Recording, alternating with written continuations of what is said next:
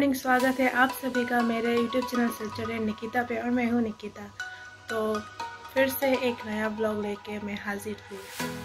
तो अभी तो मैं बस मतलब उठी हूँ, उठ के ब्रश धो लिया है।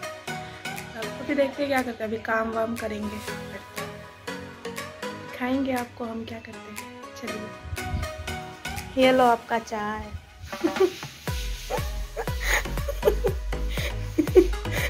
लो। मम्मी देखो सुबह सुबह उठ के ये कभी ये ये ये। और इधर हमारा पेड़ पौधा।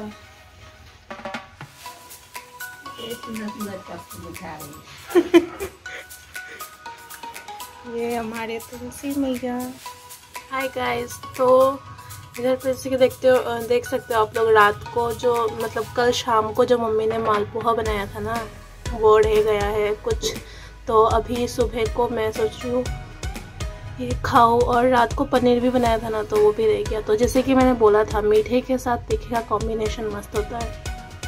तो कटहल की सब्ज़ी तो नहीं है बट पनीर की सब्ज़ी है तो मैं मालपोहे से पनीर की सब्ज़ी खाऊँगी। आप लोग भी ट्राई कीजिएगा, बहुत मस्त लगता है। आई नो कुछ लोग बोलेंगे क्या अजीब कॉम्बिनेशन है। बट आई लाइक इट तो चलिए ट्राई करते हैं माल पोहा और पनीर। हम्म, मस्त मस्त एकदम मस्त। आप लोग ज़रूर ट्राई कीजिएगा माल पोहा और उसके साथ कोई भी सब्ज़ी कोई भी सब्ज़ी चलेगा बस तीखा होना चाहिए।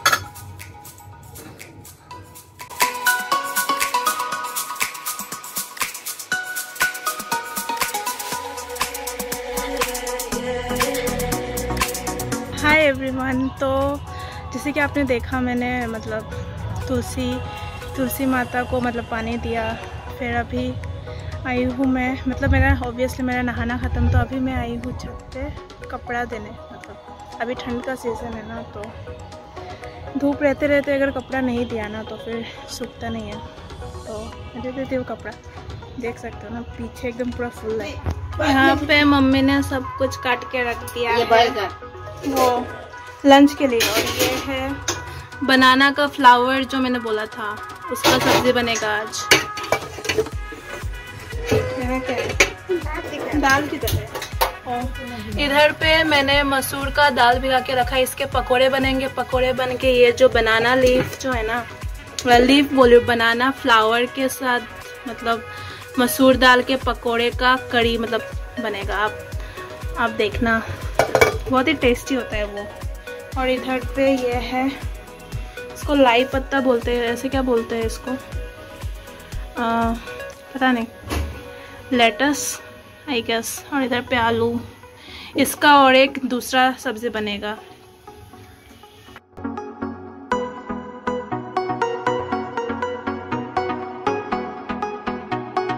हाय तो हमारा खाना तो हो गया। लंच हो गया। तो जो बनाना फ्लावर जो सब्ज़ी मैंने दिखाया आपको बहुत ही टेस्टी था।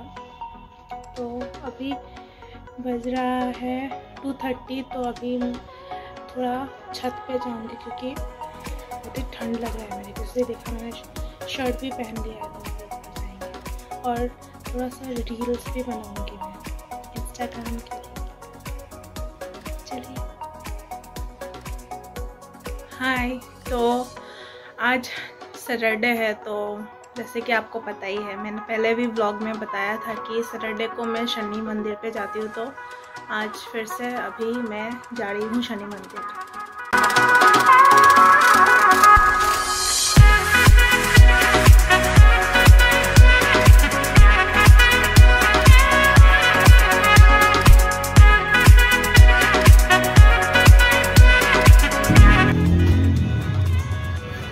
লেখা পেস্ট্রি। টোয়েন্টি টোয়েন্টি ফাইভ যাওয়ার পরে একবার মানে যাওয়ার পরে একবার মানে দাম করব এরপরে তার মানে টাকাটাই দিনে না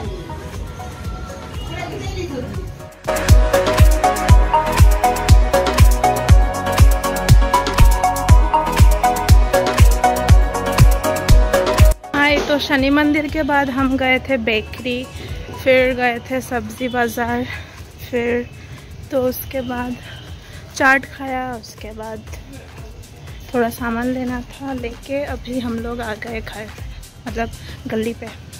ये है बारो मोजा, ये है पकौड़ा और ये जूस, जो मैं लेके आई हूँ अभी बाज़ार से।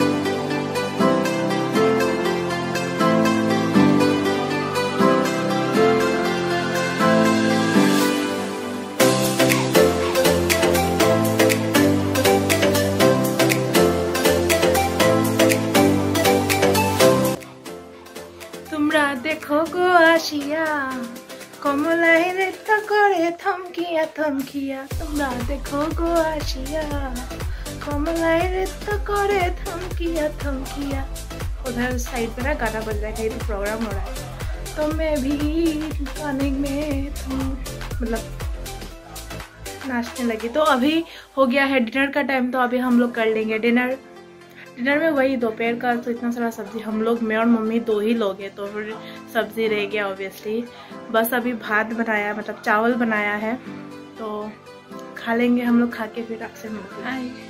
तो मेरा डिनर हो चुका है, बर्तन भी धो लिया मैंने, और अभी सोने का टाइम है। सोन के नहीं मतलब थोड़ा सा फ़ोन यूज़ करूँगी तो अगर आप सभी को मेरा आज का ये प्यारा सा, छोटा सा और मस्त मस्त सा ब्लॉग अच्छा लगा तो मेरे इस ब्लॉग को लाइक कीजिएगा कमेंट कीजिएगा और अपने फैमिली के साथ, दोस्तों के साथ भाई बहन के साथ ज़रूर शेयर कीजिएगा और मेरे चैनल को सब्सक्राइब भी कीजिएगा। तो मैं मिलती हूँ मेरे अगले ब्लॉग में।